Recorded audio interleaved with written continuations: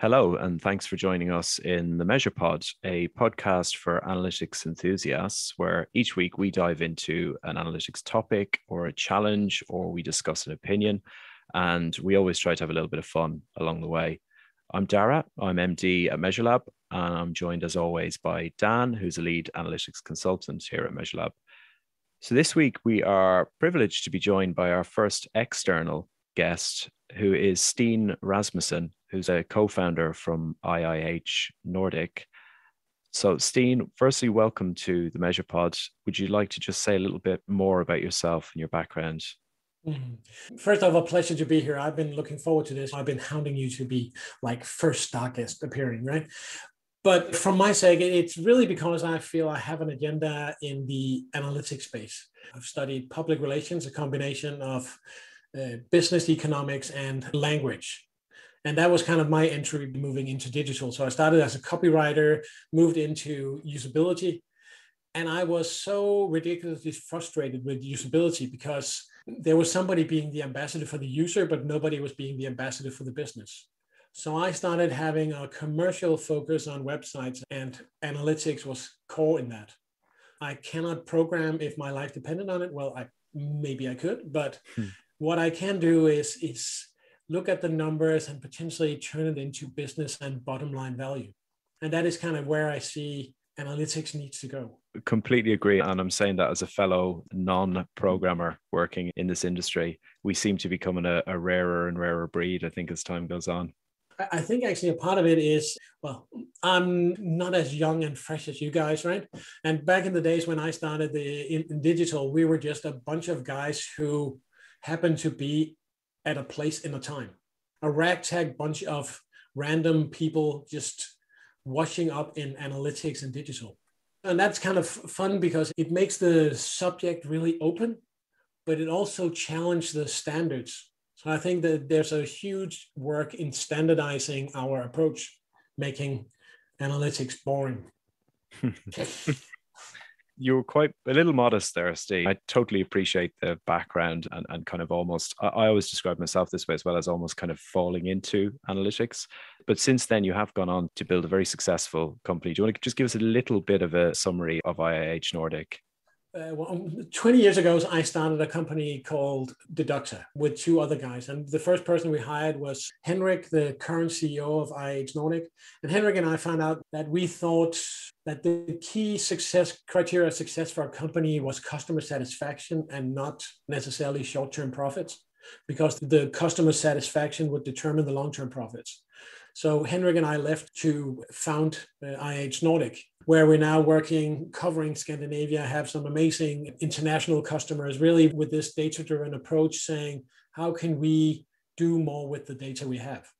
Because that was really one of the key foundations when we started the company, saying, well, there's so much data being gathered, and a lot of it was just saying, okay, look at this, five is bigger than nine. Okay, cool, move on.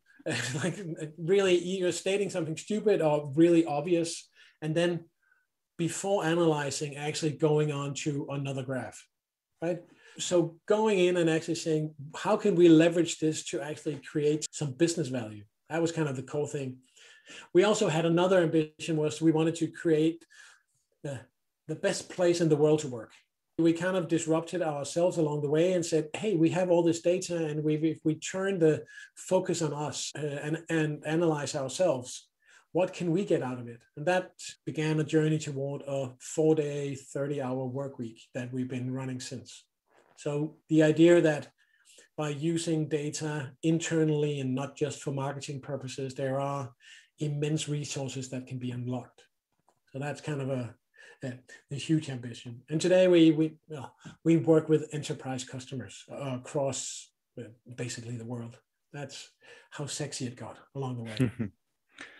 So, what's your topic or what's your opinion, Steen, that you wanted to bring on the show today and discuss, or maybe debate with us, depending on whether we, we agree or not? So, over the last two years during COVID, there's been this talk that things have changed and moved forward in, in e commerce and everything, and seven years of growth in two years and, and all this. But one of the things I do not think have followed this is the concept of mature use of analytics if you do a Google search for digital analytics maturity models or web analytics maturity models. Well, from my perspective, I don't really feel these models are mature anymore. That there's a level of complexity that is missing from our understanding of what a mature setup is. And that's kind of a, the, the conversation I wanted to have with you guys, because I think with the experience we have together across multiple customers and our understanding there, how do we define what is a mature customer and what is kind of the key aspects of that? So, yeah, bring it on. and I guess I'm even thinking of a question before that, which is can you even define what analytics maturity is?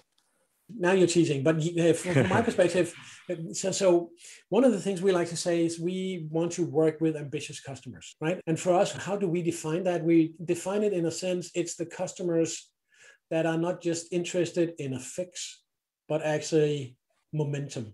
Mm. And I think it's one of the things that I see in the models right now that are missing because they're statics, all of them. So there's no speed of change or there's no momentum.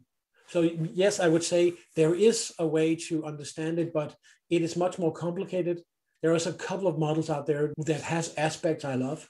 Semphonic did one of my original ones I love because all the other models start at zero. So whatever you do, you become more mature. Hmm. The Semphonic model starts at minus one. So if you don't do anything, you're actually not mature at all, you suck.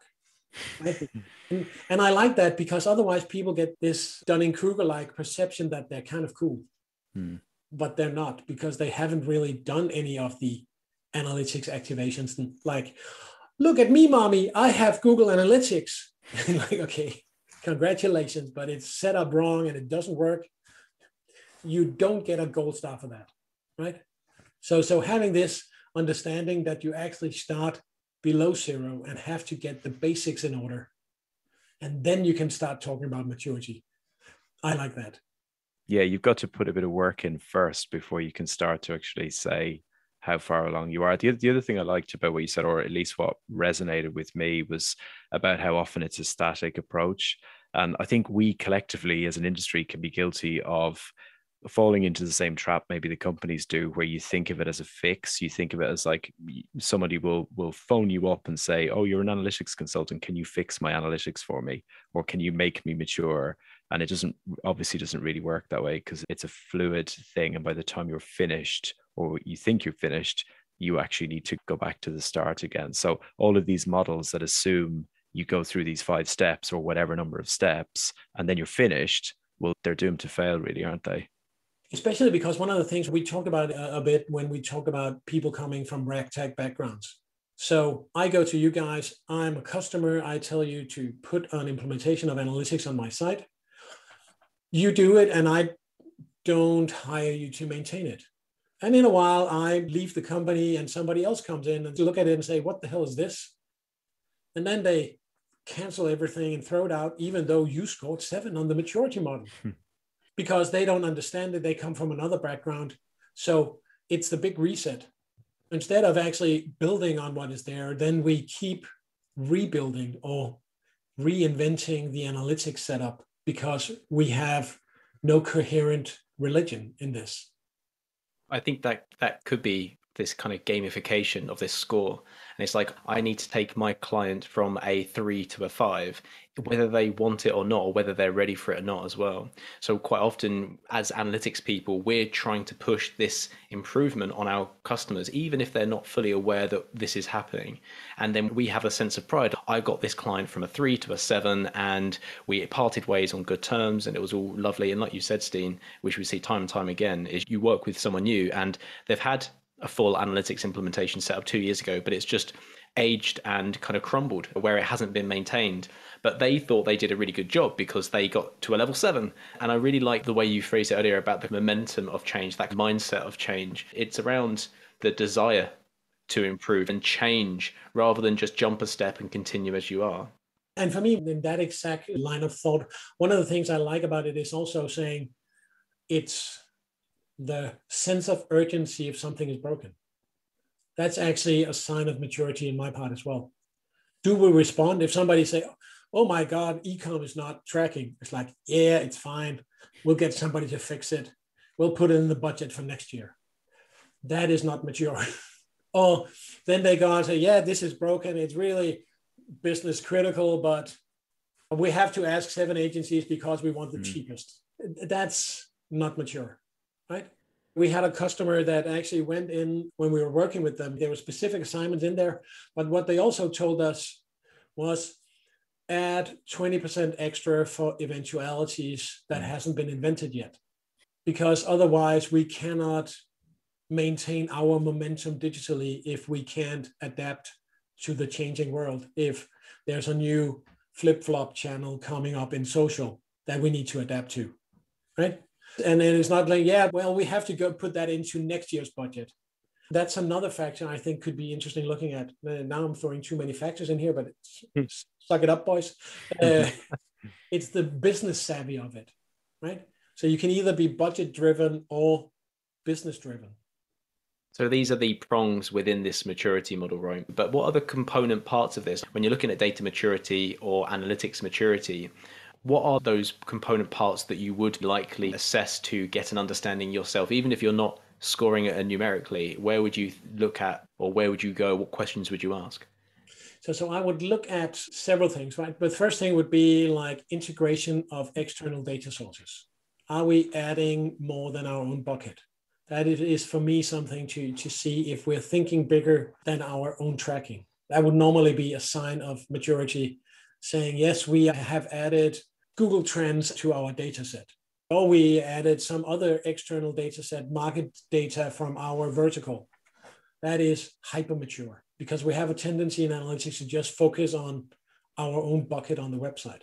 So that will be one thing saying how much do we enrich the data do we have do we just focus on doing a nice clean analytics setup or do we understand that business is in context so we need some external information as well uh, so that would be one thing but this is just still data gathering right the next level is visualization when we do visualizations do we do them and reporting on that level as well but visualization dashboards and reports do we do them with action in mind when I do presentation, I have this saying there's two types of dashboards we can make.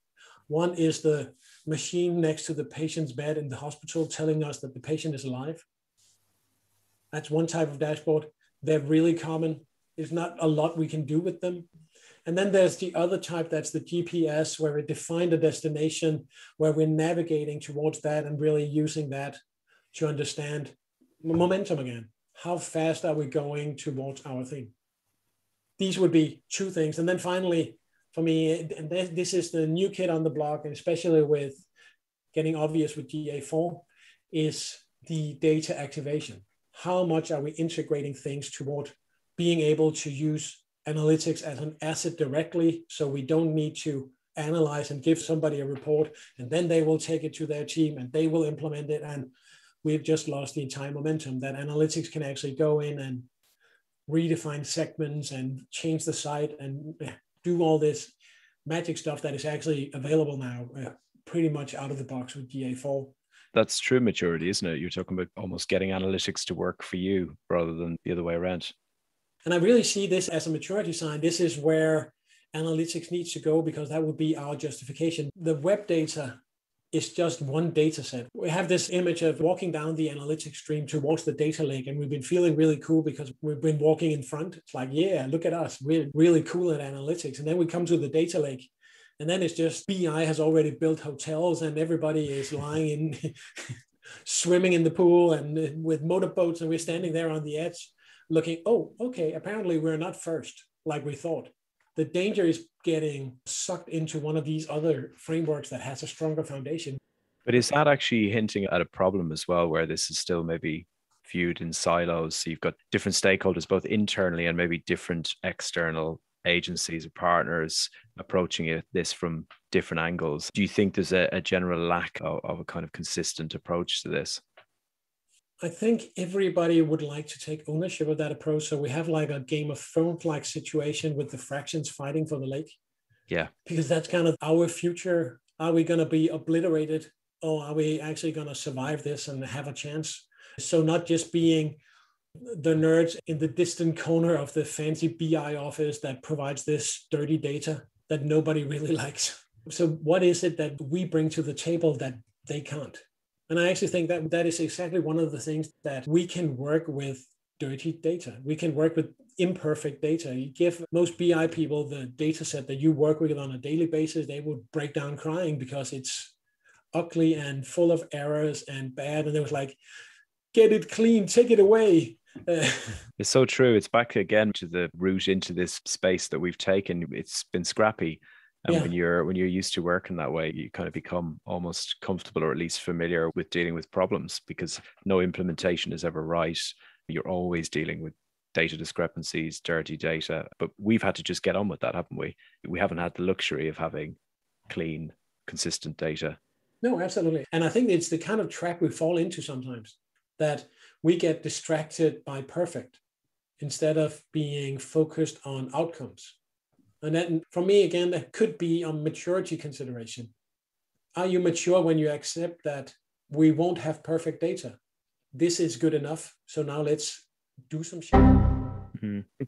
It's just making do, right? We're just really good at making do with what we've got in front of us. And you've mentioned GA4 but as tools change, we'll pick it up and we'll use mm. it and we'll figure out different ways of applying it. And maybe it will be better, maybe it'll be worse, maybe it'll just be different.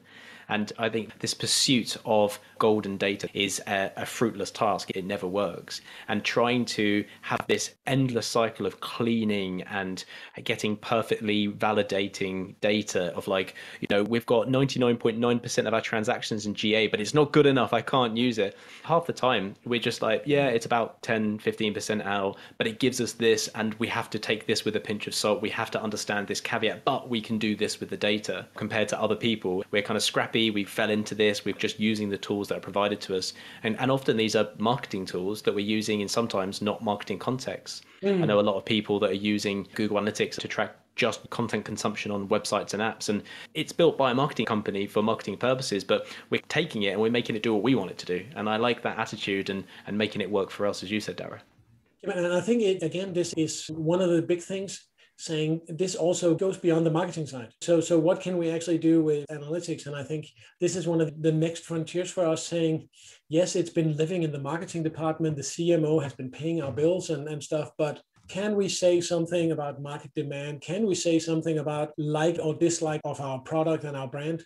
Very often, if I gave you the question saying, can you tell me this? Then it's like, yes, I probably can. Or you would say, no, but I could find out, or I could mm. make a setup that could catch this. It's sometimes it's about asking better questions or expanding our horizon and going back to the maturity thing. I see that as a maturity sign as well in relations to being open to adapting the data to the business. Because I've been in, in a lot of meetings in a lot of organizations where people have been saying, okay, cool, can you give me a customer journey? And then it's like, no, I don't have the data. But that's the wrong answer. It's, well, I can't right now, but if it's important to the business and you provide me the budget, I can. Because that is actually what we can. We, like we said, we're, we're uh, scrap collectors. We can build anything out of data if we just get the time. Is there a risk there as well? Something that uh, I've certainly seen, I'm, I'm sure you have too, where we can overcomplicate as a result. So I'm totally with you on the being scrappy and, and working with data and being able to figure something out. But one thing that I've always thought was interesting is you sometimes see people in our game try and overcomplicate almost to show what they can do. And go back to something you said earlier, even on the client side, where they might have lots of additional data sources and they might have lots of reports and dashboards and everything else, but often they're maybe surplus to requirements and it's almost kind of over engineering rather hmm. than asking the right questions. So almost I guess what I'm getting at is can a sign of maturity sometimes be understanding that less is more and it's not about having more tech more solutions more dashboards but actually having fewer questions but the right questions and having the right data even if it's not perfect data but having the right data to answer those questions and make decisions take actions. Yeah absolutely. I was thinking in relations to kind of saying how do you use the data you have? For me an immature version is this is about the website. Then the more mature version saying this is about digital and then where the actual version comes in is saying, how can this be integrated in the overall strategy? Mm. So where we remove all the website and the digital stuff and saying, well, analytics is actually something that is supposed to support and provide momentum in relations to a overall business strategy. So there's no such thing as a digital strategy de- detached from the business strategy. If you have business goals, then a digital strategy should be developed around the business goals of the overall business strategy. That is probably also one of the classic immaturities is that you have a digital strategy that is not aligned with your business strategy. So here's a question for you. What do we do about that if that's the case? Because we don't necessarily have much sway. If we're working with a business where their digital strategy is disconnected from their business strategy or it's in conflict with it or whatever, and we're going back to something you said where it might be the CMO paying our bills, how much say do we have in that? Or do we have to just wait for those businesses to realize they've got to look at the whole and then we can play a bigger part? Or do you think, as part of our role as analytics professionals, do we have some say in that? Can we influence that?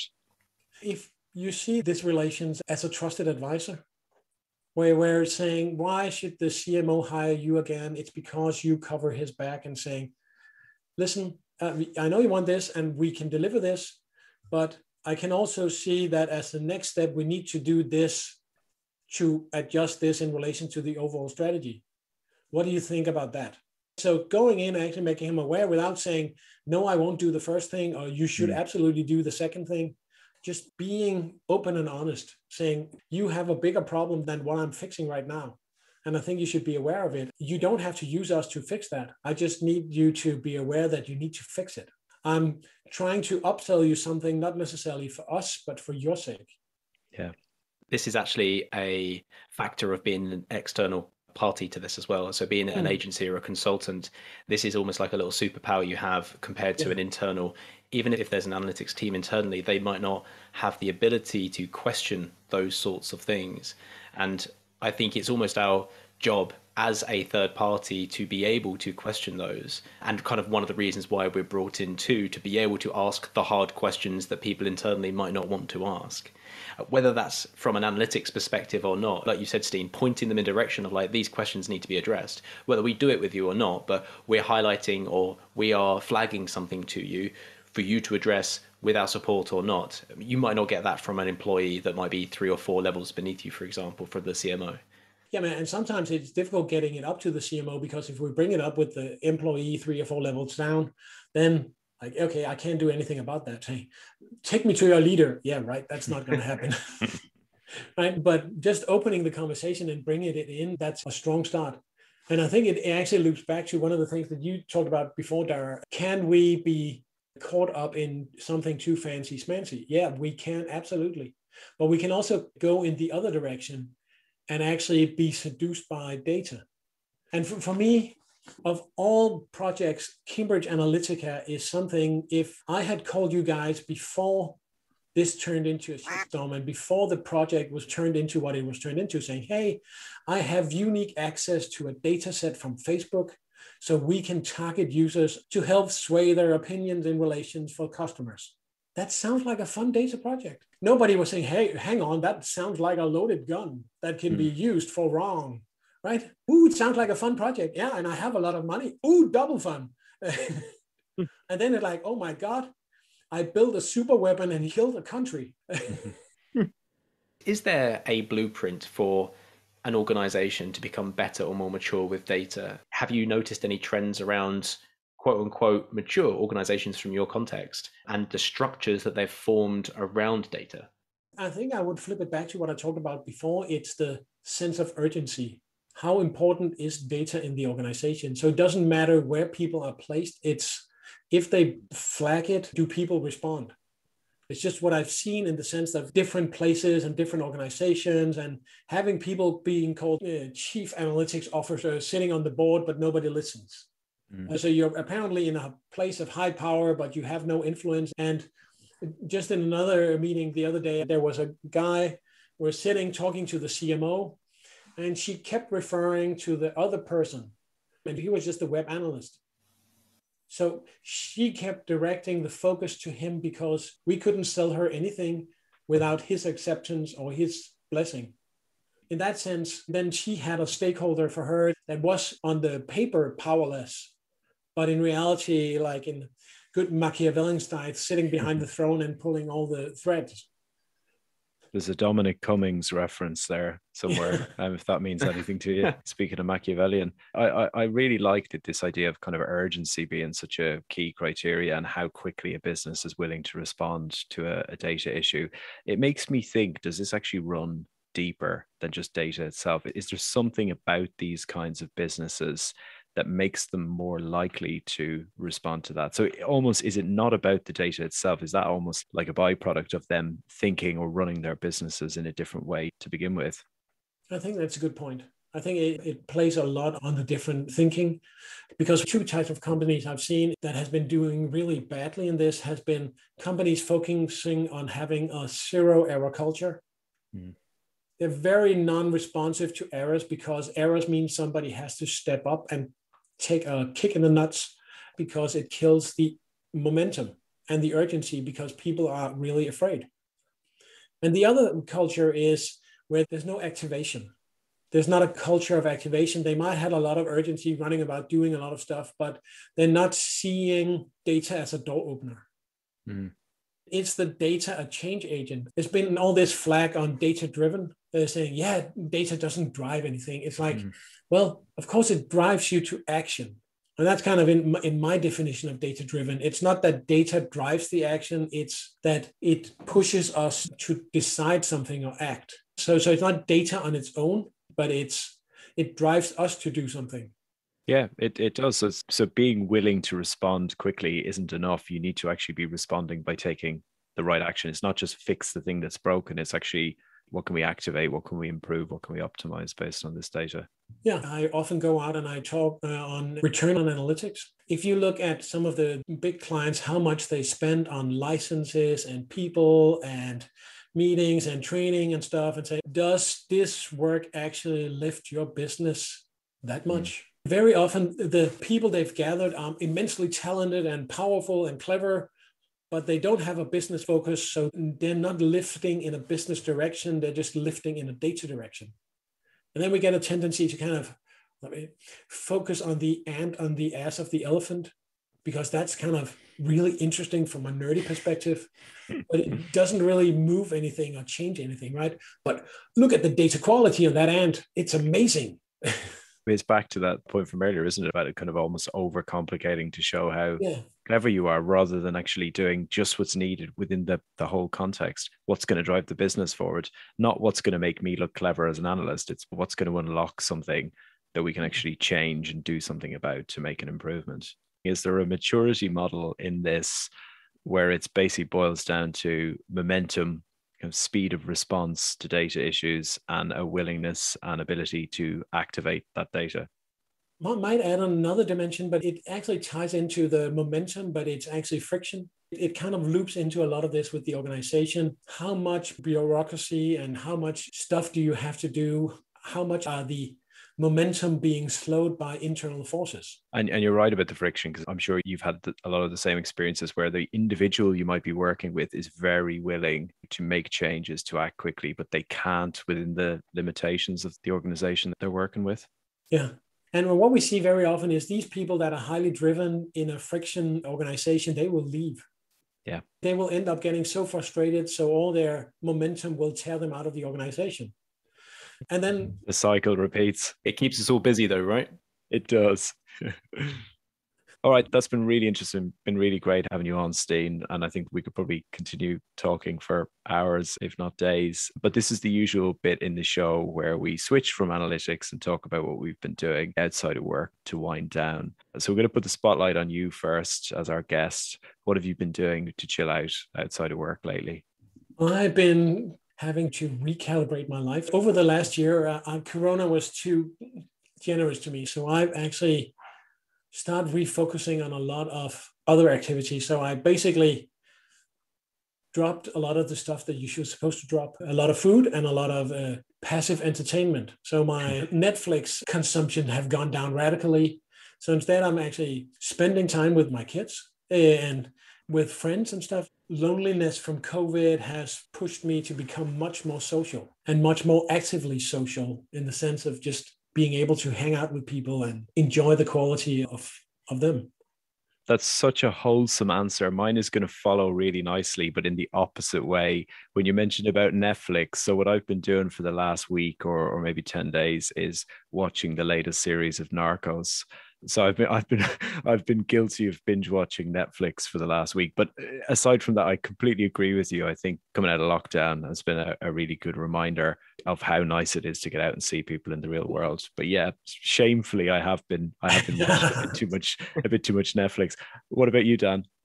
Well, mine ties in quite nicely to yours, Dara. So two episodes ago when we had Steve on the podcast talking about Whoop and the self quantification, I succumbed and I, I've got myself on a two month trial of the Whoop band. And I think it's fascinating. Having all of this data about your own body is a- actually fascinating. I've just been for the last couple of days looking at my data almost obsessively. I tell you what, it's made me do is get out of the house more, go skating more, go walking more. I'm really liking it hmm. so far.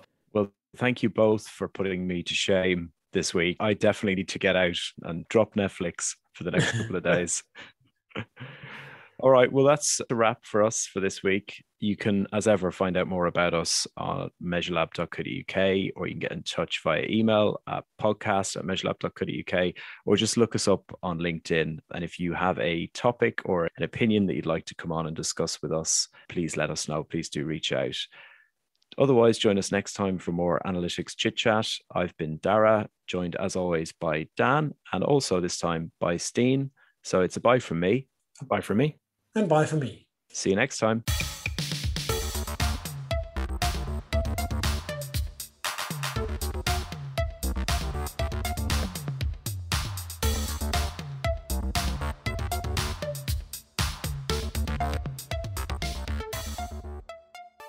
You can cut that bit out, right?